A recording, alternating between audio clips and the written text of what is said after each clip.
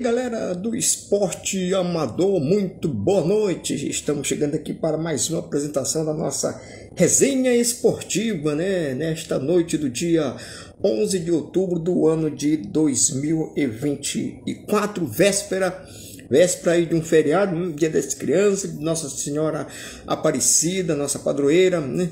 E a gente, é, depois de, vamos, depois de aí de um, de um bom tempo, né? É, nós tivemos aí nós tivemos aí, nós demos, aliás, uma, uma super parada, né?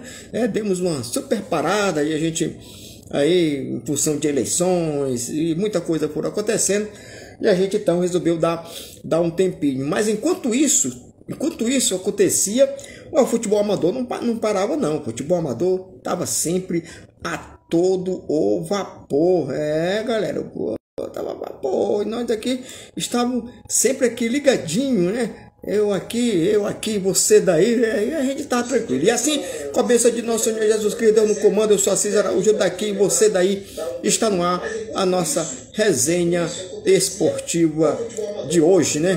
De hoje, dessa, de hoje, dessa, dessa sexta-feira, né?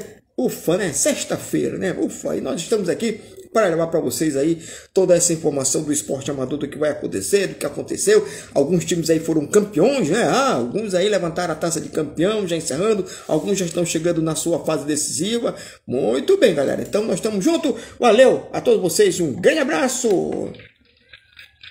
É, vocês merecem palmas. Quero mandar aqui um grande abraço a toda essa galera aí da, aí da Matinho, né? Já começa a estar tá ligadinho, sempre nos acompanhando.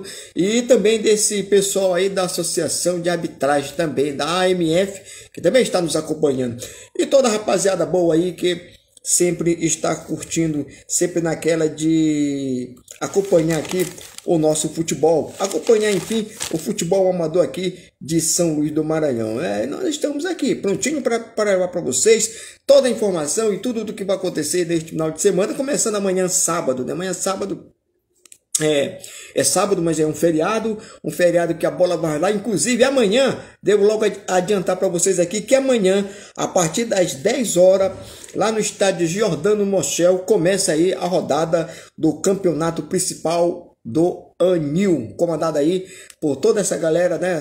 A, nova, a nova diretoria que assumiu aí o comando da, do, do DADA, né? Departamento Autônomo de Desporto Esportivo Anilense.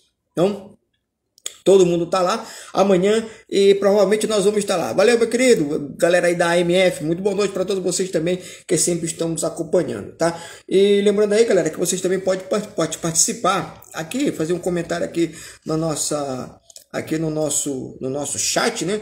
É, é aí pelo nosso WhatsApp, né? Nosso WhatsApp que você pode mandar aí as tuas notícias para nós, né? Então, aí ó, tá aí o nosso WhatsApp você pode mandar suas notícias, que nós estamos aqui para divulgar e falar para todos vocês. Bom, como eu falei, aqui é, neste final de semana, às 10 horas, tem Brasília e Arsenal aí pelo grupo B, é, amanhã, ali no estádio de Ordano Mochel, pelo Campeonato Anilense. Mas, meus amigos, é, você sabe que o assunto do futebol, na verdade, é muito longo, mas uma coisa sempre chama a outra. Neste final de semana, no sábado passado, eu fiquei triste com uma notícia aí que, que rolou, inclusive nas redes sociais. Tá? Todo mundo comentou, todo mundo bateu papo aí. É, que aconteceu lá na Alemanha, do campeonato de base. Olha só, o campeonato de base, agressão a árbitro novamente começou. E lá, um pai dos alunos, um pai de um dos alunos, sacou de uma arma. Pode um negócio desse, galera? Pode. Né? Pode. A gente dá uma risada assim, que isso aí é uma. Eu não sei nem dizer para vocês o, o, o que, que é isso aí, né, galera? Isso é triste. É triste. O, o, o exemplo que que deveria e que deve ser, principalmente dos pais que vão lá acompanhar os meninos, mas parece que eles vão num, numa dia que eu não sei nem do que, né? Nem, aliás, eu sei sim, né? Um, um verdadeiro desequilíbrio emocional. Aí quando chega lá e quer que agredir a e pior que já vai com arma, né? Tem uma música aí, né, do nosso, do nosso saudoso Bezerra da Silva, você com, com uma arma na mão é um bicho feroz, feroz. É viu essa música, né? O cara, quando ele bota uma arma na mão, é o machão, é o rei, é o forte, é o poderoso. Rapaz, que poder tem uma arma, né? Na mão de, de, dos caras desses. E eles vão lá, olha só, olha que tinha criança, né? Não era adulto, não, era criança. Isso aí, isso aí, inclusive, até pode prejudicar mentalmente a criança, né? Pode, na minha opinião, pode sim. E, aliás, eu queria até aproveitar a oportunidade e dar um aviso aqui também para essa galera aí que, que é do, do conselho, né? Do, do conselho telar que que, que, acompanha crianças, jovens, deveria também dar uma olhadinha nessas competições de, de base de base aí, que acontece aqui também São Luís aí, para ver como é que esses caras que se dizem serem professores, que dizem isso, como é que eles estão vendo essas crianças, como é que eles estão fazendo essas crianças aí.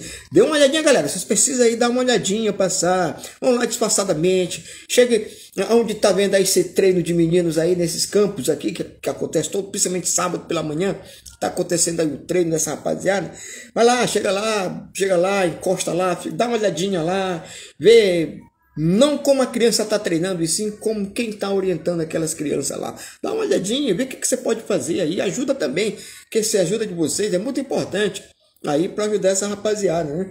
É para ver aí o que realmente, o que realmente é, acontece nesse futebol aí de base aqui de São Luís Maranhão também, né? Bom, é, outra coisa também que eu queria comentar a rapaziada toda aí que apostou, né? Os caras que se candidataram aí apostando em, em alguma coisa do futebol amador, muitos aí não, não se deram muito bem, não, né? É, muitos, aí é, tentaram, tentaram, mas não conseguiram, né? Agora vamos ver que esses que conseguiram, que teve alguns sim que conseguiram, ver o que, que eles vão. Ah, eu acho também pelo futebol amador que eles não vão. É, não, não, não, rapaz, não, não, não, vão fazer nada, não vão fazer tanta coisa. Mas com o futebol do jeito que está aí, essa coisa que a gente está vendo, seleção brasileira aí, não faz, ganhou, ganhou do Chile ontem, viu o gol que o cara pegou, né? Aquele gol. Como é que pode jogador de seleção brasileira pegar um gol daquele, né? Mas fazer o quê, né? O cara, o cara fez o cruzamento e a cabeçada e o gol que o goleiro também. Eh, eu não, eu não, não vou nem culpar o goleiro pela, pela a forma como ele pegou o gol, e sim pelo zagueiro, né? Que deixou, deixou o cara sozinho, cabeça. E né, eu digo goleiro, porque a, a, a cabeçada do que o, o, o, o, atacante lá do Chile fez foi uma, uma distância que eu acho que um goleiro a nível de seleção não deveria pegar um gol daqueles. Mas pegou, mesmo assim, conseguiu ganhar, né? O time aí deu uma virada lá e marcou os gols. E outra coisa importante, os caras que marcaram também o gol não foram jogadores de fora. Não, foram jogadores que estão aqui dentro do Brasil, os caras que estão jogando. Então, quer dizer, a seleção brasileira precisa ver que aqui, aqui tem muita gente aí jogando bom de bola, precisando de uma oportunidade para mostrar o seu futebol. Bom, é, vamos então agora dar uma sequência do que vai acontecer neste final de semana. Bacana? Olha, lá no São, lá no, no Santo Antônio, neste final de semana, tem uma rodada né? É, um jogo fecha a quarta rodada e o outro vai abrir a quinta rodada. O jogo que vai, que vai fechar a quarta rodada acontece às 15h30 ali no estádio Moreirão. A equipe do Filho da Vila enfrenta a equipe do Ospetra.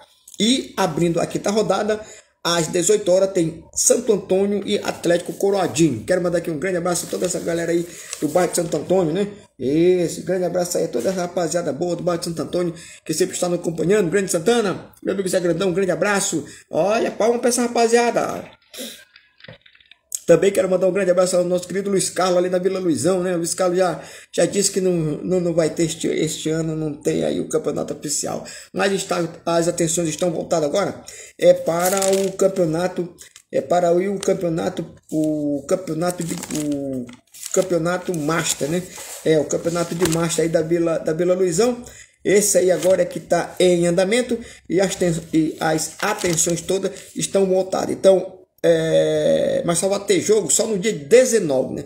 Só no dia 19 de outubro é que vai ter a rodada, começando aí as quartas de final, onde ali no estádio da Vila Luizão, às 14 horas tem Galácticos Esporte e às 15h45 joga América e Balança Rede. Aí no dia 26 é o outro jogo, para conduzir mais dois finalistas. Aí tem às 14 horas R7 Olho d'Água e às 15h45 tem Desportivo e Abençoado. Aí vai sair, já vai sair os dois semifinalistas, viu?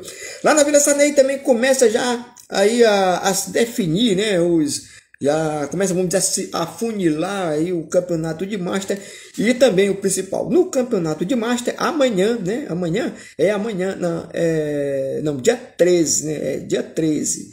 Então, dia 13 tem jogo pelo campeonato, pelo campeonato principal, né? no campeonato principal aí da Vila Sarney, no sábado, no domingo, perdão, ali no campo do Pelado, às 9h45 tem PSG da Vila e Favelinha, no campo do Cruzador joga às 9h45 eh, Coritiba e Arsenal da Fé. No campo do São Cristóvão, na Vila, na Vila na Vila Industrial, né? Na Vila. Valeu, galera aí da Matinha. Boa noite para todos vocês. Aí joga só às 9h45 tem Campinense e Guará. E às 15h45 tem Os Purões e Revelação, né? Ah, eu quero mandar aqui um grande abraço especial ao meu querido, ao nobre companheiro, ao grande, o senhor Francisco José. Valeu, seu Francisco. Grande abraço. Muito bem, então é, joga aí no dia, aí sábado, né? É sábado amanhã, já vai começar a semifinal do campeonato de Master. Campeonato de Master, onde às 16 horas tem a JEC e Juventude. Esse jogo vai acontecer no campo do São Cristóvão, ali na Vila Industrial. E às 18 horas tem Americano e Enferrujado. Valeu, São Francisco! Olha, tá chegando aí a sua fase decisiva da competição, né? Muito bem. Vamos falar agora aqui do Campeonato do Barreto, que nesse final de semana tem dois super jogos amanhã, né? Amanhã Amanhã ali no estádio Barretão, às 14 horas, joga União, União Amigos contra o Juventus City. E às 16 horas tem, às 16 horas tem Vasquinho e Juventus, né? Muito bem. Mário Bruno, um grande abraço, meu querido. Muito boa noite para você, toda essa rapaziada que está curtindo aqui a nossa programação, na nossa resenha esportiva diária.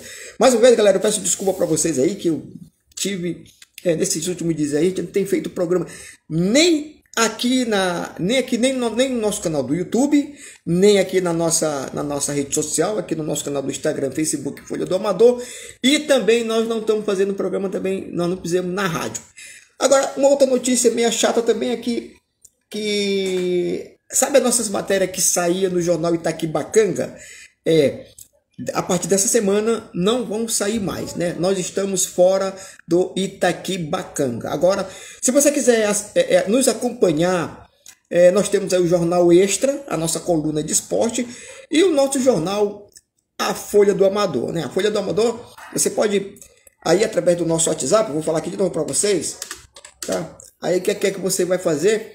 Você quiser aí, aí você manda aí o teu, teu e-mail tá? Aqui no nosso, aqui no nosso WhatsApp, que a gente manda para você aí o nosso jornal Folha do Amador, né? São as matérias que sempre a gente joga por semana no, no tá na nossa Folha do Amador e na nossa coluna diária do jornal Extra, né? Bom, falando do Barreto, né? É, e a, dos jogos que vão ter neste final de semana. E domingo, e domingo dia 13, né? Até, começa aí a terceira rodada ali do campeonato, do sétimo campeonato cinquentão de futebol aqui do Conselho Cultural e Comunitário da Cidade Operária, coordenado pelo senhor Francisco Correia. Às 8 horas tem Franeuto e Gênios e às 10 horas Beira-Mar e Globo Azul. É, grande abraço, valeu meu nobre, tudo bem, tamo junto. Vamos falar agora aqui do campeonato da Matinho, né? É, depois que terminou o campeonato da Matinho, o campeonato, o campeonato, o campeonato de Master, nós estamos aqui agora no campeonato amador. Então, amanhã, dia 13, domingo, tem os seguintes jogos. Vamos falar aqui do quadro 1, é a 11 primeira rodada, né? É a 11 primeira rodada do campeonato lá da Matinha. Então na Matinha tem neste final de semana os seguintes jogos, começando aqui pelo quadro 1. No quadro 1, lá na Arena da Matinha, jogam às 10 horas tem 11 Primos e Juventus, às 16 horas tem Esporte Clube Matinha e Ospominha. Lá na Arena Municipal, às 16 horas tem Red Bull Glacial. A Red Bull, é isso, exatamente. E no quadro 2 tem os seguintes jogos, aí também pela 11 primeira rodada. Vai jogar vai jogar assim. Na Arena da Matinha Fluminense, às 8 horas, tem revelação em Austin Villa. Às 14 horas, tem Piranga e Boca Júnior. Às 14 horas, Sítio e Roma. Isso aí é a 11 rodada do campeonato do campeonato de futebol amador ali da Matinha, né? É muito bem, ó, a bola lá tá rolando bacaninha, viu? Vem final de semana aí, como teve eleições, o campeonato da Copa Itaquibacanga não aconteceu a rodada, né? A rodada que era do dia 6, do dia das eleições, mas ficou marcada para outro dia. Mas vai vem aí, mas vai ter aí é, D8 e Magníficos no campo do Duque de Caxias e Riacho Doce e Atlético Piancó. Até agora eu tô sabendo que é essa essa eu tô sabendo que é essa essa rodada, né? Santa Luzia e Bebê Fácil jogam no Gilberto Alves e Vasco e Pitu. Às 9h30 ali na Arena Pereirão vai ter o seguinte jogo, Cruzeiro Cidade Nova e no Gilberto Alves, não, e no e à tarde tem Esperança e Manchester. Valeu, Gilson. Um grande abraço ao Gilson, ao Ayrton e também ao Dilson o Louro. Bom, galera, nesse final de semana aí, nós conhecemos um campeão, né? Sim, conhecemos um campeão, que foi a equipe do Canela de Ouro. Ou seja, a final do campeonato lá da Vila Vitória. O Canela de Ouro foi o grande campeão ali. Canela de Ouro que é lá de Itagipuru. Né? Ele levantou a taça de campeão da primeira Copa Master 50 da Vila, da Vila Vitória. Isso aí foi um clássico local, né? Ele enfrentou a, equipe do Os Iguais, né? Sim, a equipe do Os Iguais. Isso aconteceu no domingo, dia 29, ali no campo da Vila Vitória, pela final aí do primeiro campeonato de futebol Master 50, promovido pelo Departamento de Esporte Local onde a equipe do Canela de Ouro do Tadipuru sagrou-se campeão ao vencer pelo placar de 1 a 0 a equipe do Os Iguais, também do Tadipuru, num grande clássico da zona rural. Um grande clássico e de uma grande rivalidade local. De qualquer forma, a taça de campeão ficou em casa. O público que se fez presente, com certeza, presenciaram um grande jogo. Queremos aqui parabenizar a todos os organizadores da competição. Parabéns também à equipe do Canela de Ouro pela conquista do título e, e a equipe do Os Iguais pela boa campanha na competição também. Quero parabenizar o grande esportista Luiz Henrique pelo apoio sempre dado ao futebol amador. Assim, mais um campeão do futebol amador é conhecido, né? Muito bem. Aí, galera, o, galera toda aí da Matinha tá dizendo que depois do principal vem aí o Sub-15 e as inscrições já estão abertas. Aí para você que quer que quer curtir aí, que quer curtir é, mais um bom futebol, mais uma brincadeira da garotada e tá aí. E a galera da Matinha merece o quê? Palmas, palmas, palmas. É, tá vindo mais um aí, mais uma competição que é o Sub-15 e as inscrições aí já estão abertas, né? Olha a equipe do veterano do Barreto, né? Ah, o veterano do Barreto aí perdeu mais uma muito feia, rapaz. É, perdeu mais uma e dessa vez se complica dentro do campeonato mais da, do, do, aí do Barreto, né? Onde nesse final de semana tem União Amigos contra o Juventus e o Basquinho enfrenta a equipe do outro Juventus. São dois Juventus que tem lá. Um do Juventus é do meu novo companheiro, o grande Luizinho. Bom, então isso aconteceu no sábado, na Arena Barreta, a rodada passada da 13 terceira, da 13 terceira rodada aí do Campeonato de Futebol Master, que é promovido pelo Departamento Autônomo de Desporto do Barreto, sob a coordenação do presidente Carlito. Quero mandar um grande abraço a ele, né? Onde dois jogos foram realizados, onde só um, inclusive, aconteceu. O outro foi por, a equipe do Beck ganhou por WO da equipe do Tatuna Luso.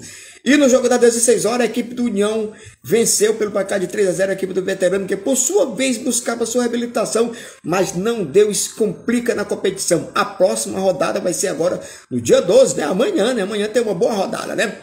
Bom, já falei aqui também da, do, do que vai acontecer neste final deste final de semana, também aqui no bairro do Santo Antônio.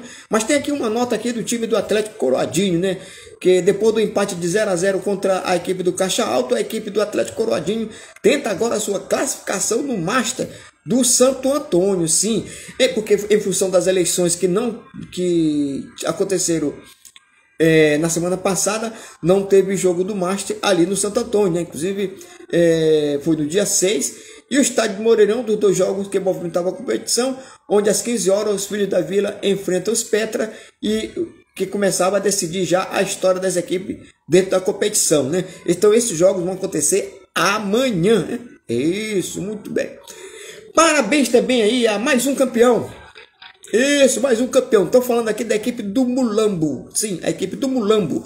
A equipe do Mulambo foi o grande campeão nos pênaltis conquistando a Copa Catita de Futebol Amador da Vila Riode. Parabéns aí ao nobre Catita, né? Catita aí também que vem, esse cara aí, ele vem batalhando muito naquela, naquela competição. E ele vem de todo jeito tentar fazer com que o futebol ali daquela região, Janaína, uma parte da cidade ali da Santa Clara, da Vila Riode ali, aquela grande região ali, que o futebol de lá não cai um pouco. Então ele realizou aí essa Copa, Copa Catita. E o time do Mulambo foi o grande campeão. Isso aí aconteceu no dia 29 de setembro, ali no campo do Zé Pretinho, no, na Santa Clara, pela final da Copa Catita de Futebol Amador da Vila Riode, que é promovido pelo Departamento Autônomo de Desporto da Vila Riode, sob a coordenação aí do presidente Catita. Às 9h30, a equipe do Mulambo sagrou-se campeão a vencer nos pênaltis pelo placar de 5 a 4 a equipe do Cortes depois de empatar em 0 a 0 no tempo normal. Foi uma competição curta, mas que movimentou muito o futebol amador ali daquela região que tem que tem Janaína, Santa Clara e adjacência. Parabéns à equipe do Mulambo pela conquista do título e à equipe do Cortes pela boa campanha e também aos organizadores da Copa. Assim, mais um campeão do futebol amador é conhecido. É muito bem. Olha, já, já falei aqui da, da, da Vila Sarney, mas Juventude e a JEC, eles vão abrir, né? Aí a, já, já, já vai começar a abrir aí a semifinal do Campeonato Master da Vila Sarney. Ó, parabéns, parabéns, galera. Parabéns mesmo a todos vocês que movimentam sempre esse futebol amador. Olha, eu quero falar aqui também da Liga da Liga Maranhense de Futsal. Sim, o futsal, ó. Quero mandar um grande abraço a os organizadores, mandar aqui já uma tabelinha para mim, ó. Ó a tabela aqui deles, ó. É, ó, é só a tabelinha aqui, a tabela aqui do campeonato lá. Já mandaram aqui para mim a tabela. E vamos lá. É, o resultado que teve, que, que abriu a competição, é, lá no ginásio Paulo Leite, né? No ginásio Paulo Leite, é, a equipe do Madrid ganhou por 4 a 2 a equipe do Instituto Bom Pastor. O Cruzeiro perdeu de WO para a equipe do Azurra. O Futuristar perdeu de 7 a 0 para o Instituto Bom Pastor. Isso aí foi no Sub-16. No Sub-16, no grupo A, o PRN perdeu de 5 a 0 para o Juventude do Coroado. Bom, já teve uma rodada aqui, mas não chegou o resultado aqui para mim, que foram os seguintes jogos. Na, o Sub-14, no chave B, o Instituto Isiane contra o Cruzeiro e o Sub-16 na chave A, o PRN contra o Atlético Coab. E no Sub-16, no grupo C, o Instituto Bom Pastor contra o Cruzeiro. Amanhã, olha só, amanhã, amanhã sábado, a bola vai rolar, começando ali no estádio Guilherberto Alves. Vamos lá. Às 8 horas, no Sub-8, pelo chave A, tem Juventude Fluminense e Instituto Bom Pastor. Às 8h30, no Sub-10, chave A, tem Juventude Fluminense e São Luís Acadêmico. Às 9 horas, no Sub-10, pela chave B, tem Cruzeiro e Instituto Bom Pastor. No 9h50, no Sub-12, tem Madrid e Instituto Bom Pastor. Às 10h30, no Sub-14, é, pela chave A, tem Instituto Bom Pastor e Nova Era. E às 11h10, no Sub-16, pelo grupo C, joga Azurra e Futuri Stars. Olha, meu, ó, bacana, né? Turma boa aí. A turma boa tá bacana, a bola tá rolando, é certo. Meus amigos, ontem, ontem não, é, amanhã, dia 12, ia, ia, né? Ia, ia, ia, né? Olha, ia começar a quartas de final, né? As quartas de final do campeonato principal aqui da cidade operária, né? Que envolvia, que eram os seguintes jogos. Às 16 horas, Los Congas e Hebron. E às 18h30, tem Portuguesa e Alcoolândia a 18h30. Porém, foi adiado. Adiado. Tá? Não vai ter mais o jogo que era programado para a tarde de amanhã. Só vai ter, só vai ter é, lá pelo dia 28, por aí assim. Porque dia 19 está confirmado. Está confirmada aí a equipe do Uruguai contra o Revelação. E e 18h30 tem Botafogo e Barcelona. E Barcelona, tá? São jogos que vão acontecer aí no campeonato aqui das, da, da cidade operária, né? Grande departamento aí que está acontecendo. Olha, um outro campeão também foi conhecido neste final de semana, sim, a, o campeão, a Copa de Itapera, a Copa de Itapera. Às 10 horas A equipe do Nova Estrela venceu por 1 a 0 a equipe do Morros do Macaco. Resultado que deu ao Nova Estrela o campeonato né, do ano de 2024. A arbitragem desse jogo aí foi de, de Almaci Duarte, auxiliada aí pelo Nélio Roberto e o Railton Pereira. Né? O Nova Estrela aí foi o grande campeão. Amanhã se Deus quiser, nós vamos fazer o nosso programa, inclusive nós vamos, nós vamos também fazer o nosso canal do YouTube. É, vamos falar amanhã da Copa Maranhão, que está acontecendo, já está também se afunilando, já está no jogo de volta. Vai, vai encerrar agora as oitavas de final da Copa Maranhão de futebol para começar então aí já as quartas de final né, da competição. Inclusive já vem rolando. Já terminou aí o, a, a Copa Ximenes, né? O Bom Sucesso foi o grande campeão. Ah, mais outro campeão também, né? A equipe do Bom Sucesso ganhou, ganhou o campeonato, a Copa, o campeonato, a Copa Ximenes lá da cidade de Caxias, né? Muito bem, ó, parabéns, parabéns mesmo, parabéns aí. E a galera toda merece o quê? Palmas. Isso, muito bem. Foi concluído, né? A, a, Copa da, a Copa da BR também deve ser concluído na, já na próxima semana, né? Porque depois que teve a eleição aí, muitos campeonatos também parou e deve então continuar. E nós vamos aqui, claro, para falar para vocês, tá bom? Então, meus amigos, a todos vocês um grande abraço, muito boa noite. Se Deus quiser, estaremos junto aqui em mais uma edição na segunda-feira. Vamos torcer, vamos fazer, vamos tentar fazer uma diferença de forma que não haja briga, que não haja violência, né? Vamos respeitar é, árbitro, vamos respeitar todo mundo, vamos saber brincar, gente. Vamos... Será que é difícil a gente pedir tanto para vocês brincarem e a gente ver que não, que, que não dá certo, né? Parece que a coisa não, não, não, pinta desse jeito, pinta diferente. A galera quer fazer as coisas diferentes, valeu? Então eu vou ficando por aqui, mas se Deus quiser, segunda-feira estarei de volta em mais uma edição da nossa resenha esportiva. A todos vocês, galera, um grande abraço, muito boa noite, bom final de semana, que Deus abençoe e proteja cada um de vocês. Estaremos juntos a partir das 20 horas. Valeu, um grande abraço, galera.